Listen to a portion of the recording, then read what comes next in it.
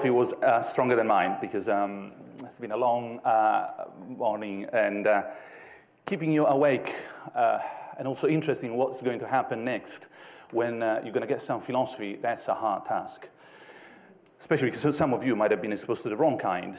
Uh, the sort of first wine you tasted when you were you know, young and that was disgusting and you never came close to it anymore and you've been drinking beer ever since. no, there is good philosophy, there is good wine. So uh, I hope I can serve some of the good stuff uh, today. Now, uh, you think that I might have been free in choosing the topic. I was not. Uh, and if you know Herbert, you know exactly that. He's going to tell you what to do, how to do it, when. And I welcome very much the challenge. He says, well, why don't you tell us something about artificial intelligence, the impact on our lives, how you see it today, tomorrow? say, yeah, that's a, that's a great topic, especially because there's a lot of science fiction, and I'm being generous with the word. So I like science fiction. Let's say science fiction, uh, the other words that begin with the S that would be improper to use here, science fiction uh, uh, about uh, the impact of uh, AI and some reality. Now, it's a long, long story. And I put that there so that we remember that, at least in this corner of the world, we've been talking about robots for millennia. That is the Iliad, uh, no, quite a classic, uh, and that is the description of these beautiful robots, the, that volcano uh, the god has been able to build uh, as sort of uh, automatic slaves, helping him uh, to get things done. they are good slaves, slaves that do things for him as he likes. A marvelous indeed to see. Now, that's the way they look to us today. And you haven't seen a movie, I won't tell you anything about it, but do, do go. It's, uh, it's quite remarkable. So these robots, this AI, these uh, sort of automatic uh, uh, autonomous agents uh, have become more of a reality. It's no longer mythology, it's not some kind of a, a Greek poet talking about Greek gods. It's more like uh, your uh, industrial company, your lab around the corner. What's the reality here? Should we be worried about this AI? They're marvelous, like the gods, but are they going to take over? Is that something that we should really be more than just concerned? That's the part of the talk on the sci-fi side. It's also known as singularity, for those of you who unfortunately follow these kind of things. Uh, you shouldn't waste your time as I do. The singularity uh, is quite simple. I mean, these robots are evolving. They will be uh, getting faster, smarter by the day. One day they're going to be so fast, so smart, that they will outsmart us. Reach that point, the singularity point, they switch, they start regulating, dominating what we do. They become the masters and they start reproducing. We are left behind. We are a disappearing species the world will be dominated by uh, the new uh, superintelligence. Uh, call it, uh, just for the purpose of this talk, Aidzilla kind of idea. This immense sort of uh, uh, piece of robotic that is going to be there. Now, you say, oh, surely not. Oh, yeah, no, no, let me convince you that that's the case. If these robots come, it will be terrible. If we create them, we're screwed. Yes, that's true. That's logic for you. In the same way that if some extraterrestrial life lands today here, we're screwed. That if the four horses of the apocalypse no, appear, we're screwed. It's just not going to happen. It's the if that is the wrong side, don't follow the then. So that's not going to go anywhere in convincing us this is Aidzilla is happening. Oh, but surely you could. Ah, -huh, don't, don't, don't be so simple uh, there is a possibility there. Yes, there is. In the same sense in which unicorns could exist. Yes, they could. and I know, know, know, there are strange labs out there, you know, any biotech. How long does it take to bioengineer a unicorn? Nothing. I mean, we've done funnier things. It's just a horse with a little horn. Right? But they don't exist. And therefore, no, you have a sense of what could means. Could here means there is no contradiction in assuming that such and such is possible. There isn't. Contradictions don't exist. Married bachelors, they're not there. But possibly people who get 10 million pounds from a Nigerian guy so kind. That's a possibility, but I wouldn't really bank on it, right? And that's expecting you the AI to develop. Is it a Nigerian scam? Uh, yeah, well, you, have been too easy on this, uh, Professor Floridi. Surely you are underestimating the exponential growth. Exponential. Yeah, there are things that go exponential. My Roomba, I'll come back to that in a moment. If you haven't met Roomba, I will introduce her properly in a little while. My Roomba cleans the floor very nicely. The next model will do that for less energy, faster. Assume that that goes exponential. Less and less energy, faster and faster.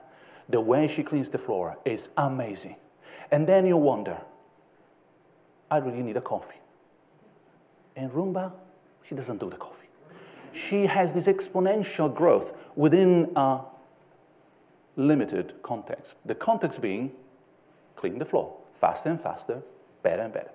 So even something exponential, and there isn't uh, no, too much faith in this exponential, more on this in a moment, growth doesn't ensure anything. It just tells you that yes, something goes better and better for less and less money. But does it get any closer to, for example, understanding what you really mean when you go, yeah, yeah, uh, not really. Still, there is a final line. Uh, you surely be aware that you better be safe than sorry. Oh, yes, yes, you always want to be safe than sorry. Uh, it's just that there has to be something to be sorry about. Because if there's nothing to be sorry about, well, then what's the point about being safe? Uh, Luciano, don't take that flight. I mean, you better be safe than sorry. No, no, it's a, it's a safe flight. And I won't be able to go to New York unless I get that flight. So, oh, you being really unreasonable. No, not. You're unreasonable. So these are the arguments that if you scratch the surface, that's what you find behind the singularity. And uh, of course, at that point, you have a disagreement. So is it or is it not going to happen? Is AI the real thing, the sort of mythological, Homeric kind of stuff going to happen sooner or later? Well, we have a test. And you must have encountered this a thousand times. So I'm going to do it really quickly for those of you who know, have even thought about this. And it's, of course, the Turing test. There it is. You are C, the little guy down there, and you want to check whether singularity has finally happened. AI is real. You ask two agents on the other side of the wall. One is human, and the other one is, is a robot. You don't know who is who. You ask questions for about five minutes, and if you cannot distinguish who is the human and which one is the machine? Well, the machine will have passed the test, or at least the human is pretty stupid. One of the two. Uh, normally, uh, I've done this with the BBC, first time that uh, the Loebner Prize came to the UK. The real stupid is the one who's asking the question. They were asking, I was going like, don't do that, don't do Do you believe in God? Yes, no. Oh, I can't see the difference. I know, that's not the, that's not the question. Second question, BBC journalist says, do you like ice cream? Yes, no. Oh my goodness, he's passing the test. No, no, you, you are not passing the test. you need to ask questions that somehow challenge the other things. So, suppose that you ask challenging questions. How long is it going to take for machines to pass the Turing test? Well, Turing had a pretty straightforward idea. He said 50 years. And why 50 years? Well, because he published the paper in 1950 and he had five fingers. So 50 years take or leave it. So he said, by 2000, the Turing test will be passed. Wrong. You haven't seen it around. It didn't happen. So he was wrong, but no, people don't get people in Cambridge wrong for nothing. Like, so he says, uh, no, no, no, it's, it's going to be 2018. Uh, why 2018? That's going to be very precise. Well, 2018 because um, uh, he was giving a talk, Eric Schmidt, um, in 2013, and he said, in five years. There you go five fingers. Uh, so 2018 is a good date, and I'm going to come back to that in a moment. Uh, more interesting is 2028. There must be something about eight. Well, no, that uh, Kurzweil said, well, the singularity will happen in 2028. And that's because I discovered by then he will be 80. Okay, well, so that's a round way of doing science. By the time I'm 80, this will have happened. Maybe. Uh, I'm not quite sure that that's exactly the way we do things in the computer lab. The best one, however, still comes from Cambridge. There is the smart move. And you know why? Nobody will be there to check. like, Uh, maybe the robots, not me, not him, for sure.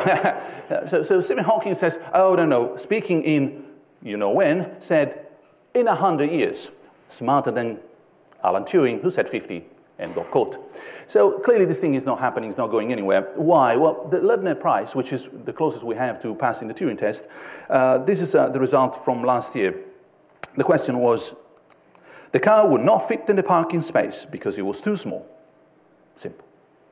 What was too small? And because the poor thing does not understand but process symbols that without any meaning, without any relevance, without any truth, replied, I'm not a walking encyclopedia, you know. Oh, I know that you are a computer, my dear. so here is my challenge. I like to call it the aubergine challenge. I hate aubergine. but to Eric Schmidt and anyone who wants to pick up the challenge, if that test will be passed by 2018, I'm going to eat a plate full of it. back here, if Hurt uh, wants me back. So this is um, the, the science fiction. This is not what's going to happen at all. Let's relax. Let's go back to real business. There are plenty of problems. This is the reality. That's Roomba. And uh, we know what, what's going on here. This is a, a too trivial to be explained to this audience. These are you know, sort of iconic um, uh, graphs of our age, how fast uh, our processors are developing, how cheaper by the day they are becoming, the amount, amazing amount of data that all this is generating by the day.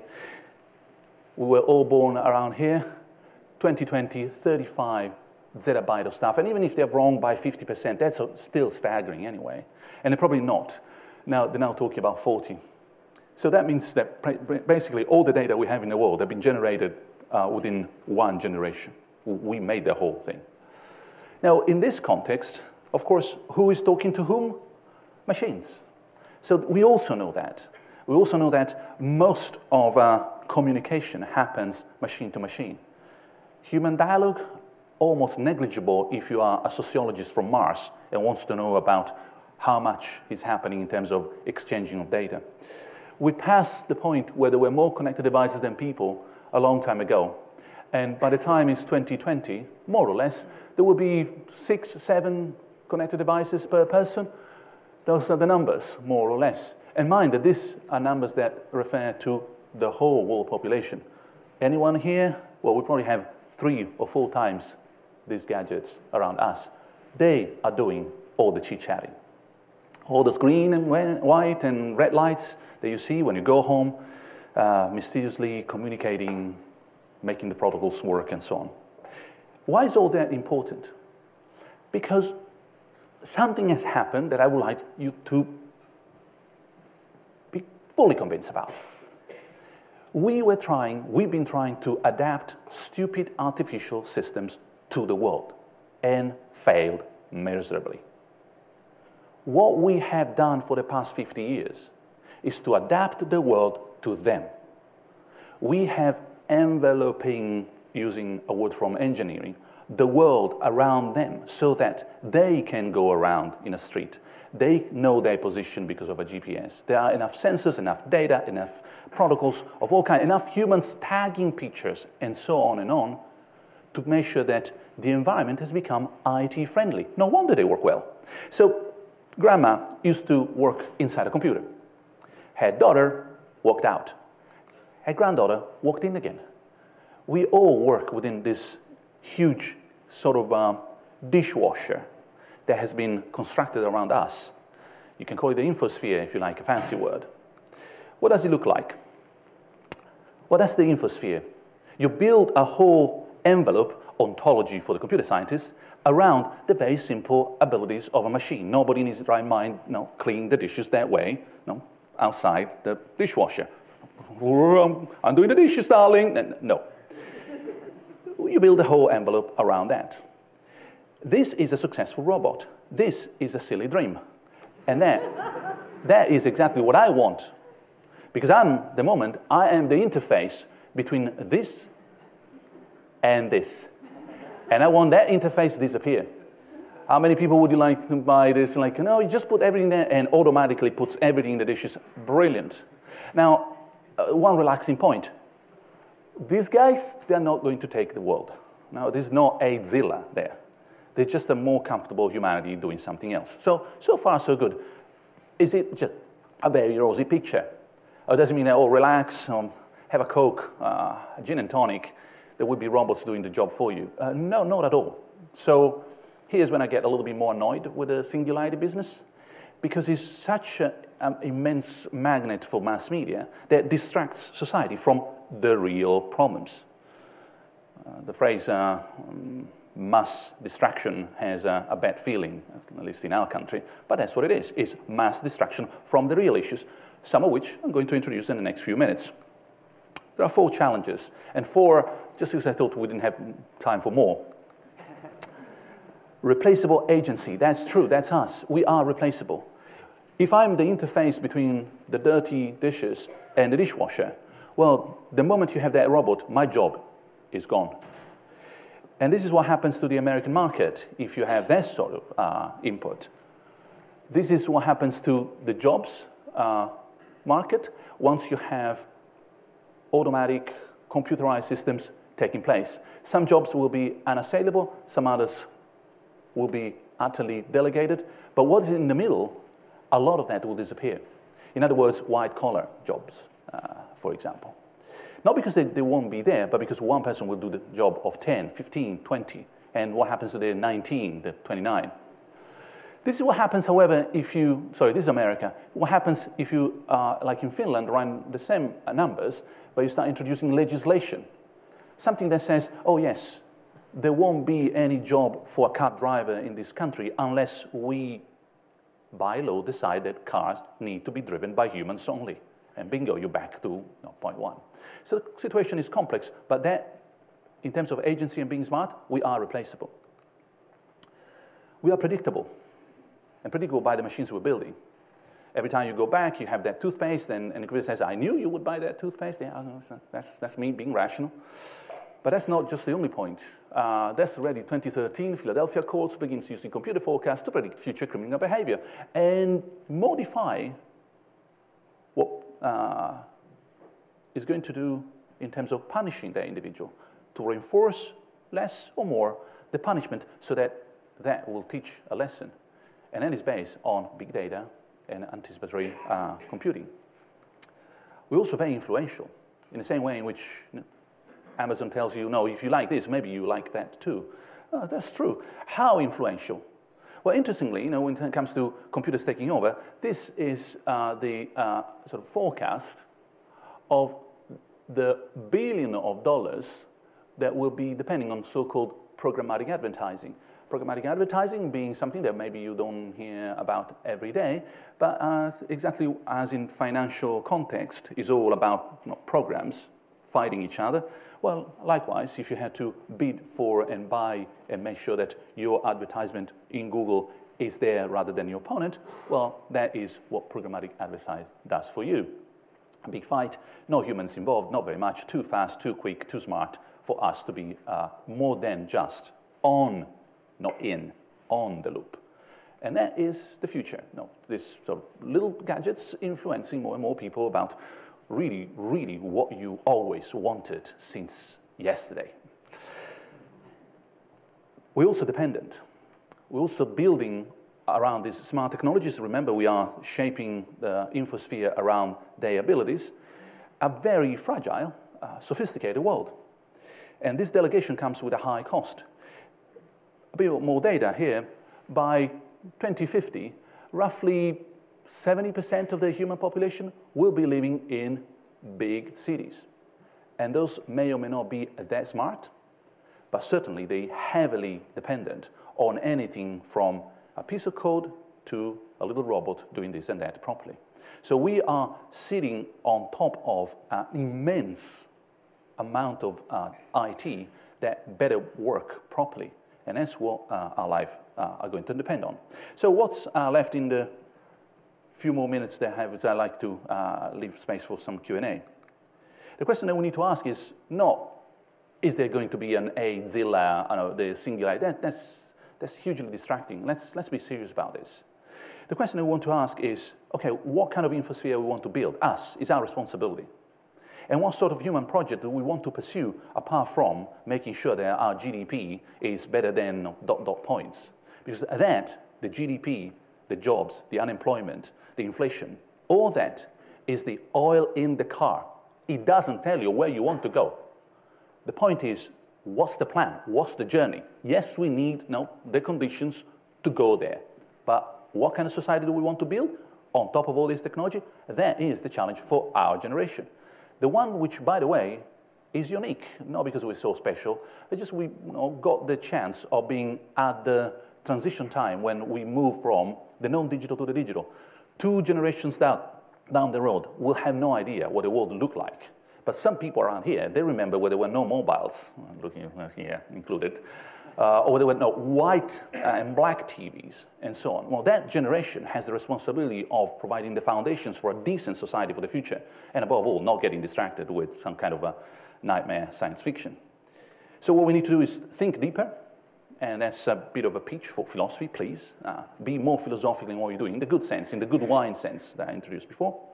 Design better, design for the future, design robustly. That is essential because we are here for the long run not for the gadget, not for the next app. And be mindful because all this is going to be the next environment for millions, if not billions of people. Remember, 70% of humanity living in big cities, those cities will be part of the infosphere. It will be up to us to make sure that there are no nightmares. And since we started with classic, we end with classic. Here we are, Shakespeare. Men sometime are masters of their fates.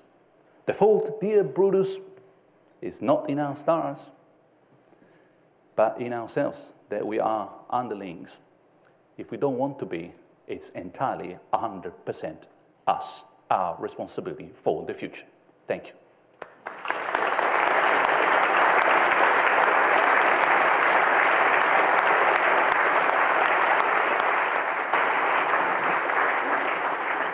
Thank you. Um, just a couple minutes for questions, if that's okay.